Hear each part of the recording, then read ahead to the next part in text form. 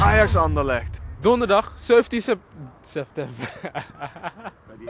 Kom allemaal eh, naar eh, Ajax Anderlecht. Donderdag 17 december. Om 7 uur. Heb jij geen clubkaarten? Bestel dan je kaart via ajax.nl. En word daarmee gratis lid van de supportersvereniging Ajax. Kijk voor meer informatie op de ajax.nl. Fantastisch. Ajax trainde vanmorgen in de regen en dat leverde een aantal vermakelijke glijpartijen op, zoals hier Toby Alderwereld. Hij had vooral last van het veld, het gladde veld.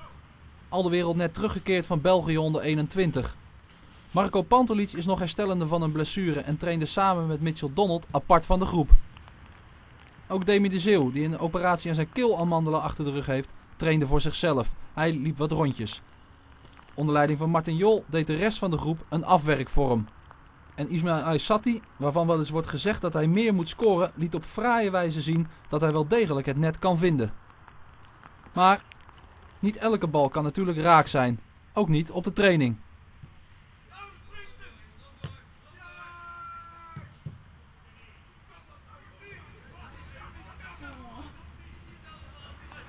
En terwijl Dennis Rommendaal beschutting zocht tegen de regen, liep de selectie een laatste ronde om het trainingsveld. En zo kwam aan een natte trainingssessie een einde.